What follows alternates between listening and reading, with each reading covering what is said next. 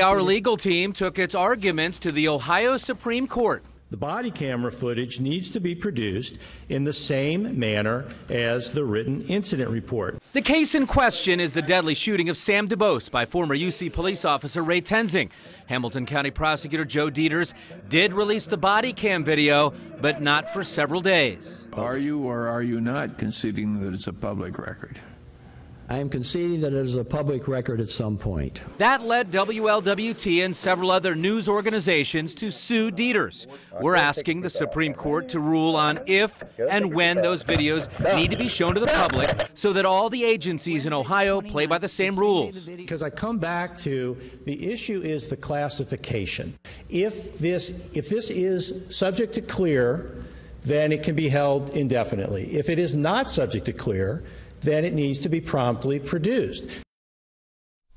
So the state Supreme Court did not make a ruling immediately. We're going to let you know, of course, what the justices decide.